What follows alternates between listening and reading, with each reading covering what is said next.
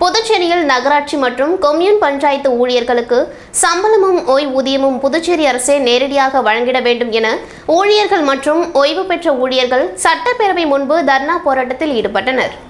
புதுச்சேரி நகராட்சி மற்றும் கொம்யூன் பஞ்சாயத்தில் இரண்டாயிரத்தி ஐநூறுக்கும் மேற்பட்ட ஊழியர்களும் ஆயிரத்தி ஐநூறுக்கும் மேற்பட்ட ஓய்வூதியர்கள் உள்ளனர்.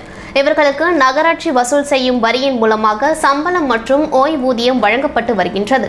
இதனிடையே அரசு அவ்வப்போது வரி சலுகைகள் அளிப்பதனால் வரி வசூல் குறைந்து சம்பளம் வழங்குவதில் சிக்கல் ஏற்படுவதாகவும் இதனால் தாங்கள் பாதிக்கப்படுவதால் புதுச்சேரி அரசே நேரடியாக தங்களுக்கு சம்பளம் மற்றும் ஓய்வூதியம் வழங்கிட வேண்டும் என்று பல கட்ட போராட்டங்களில் ஈடுபட்டு வந்தனர். இந்நிலையில் புதுச்சேரி மாநில நகராட்சி கொம்யூன் பஞ்சாயத்து ஊழியர்கள் மற்றும் ஓய்வு பெற்ற ஊழியர்கள் முன்னூறுக்கும் மேற்பட்டோர் தங்களுக்கு உடனடியாக நிலுவையில் உள்ள சம்பளம் மற்றும் ஓய்வூதியம் புதுச்சேரி அரசே நேரடியாக வழங்கிட வேண்டும். ஏழாவது ஊதிய குழுவின் பரிந்துரையை அரசு ஊழியர்களுக்கு வழங்குவது போல் தங்களுக்கும் வழங்கிட வேண்டும் உள்ளிட்ட கோரிக்கைகளை வலியுறுத்தி மூன்றாம் கட்டமாக பணிகளை புறக்கணித்து சட்டப்பேரவை முன்பு தர்ணா போராட்டத்தில் ஈடுபட்டனர்.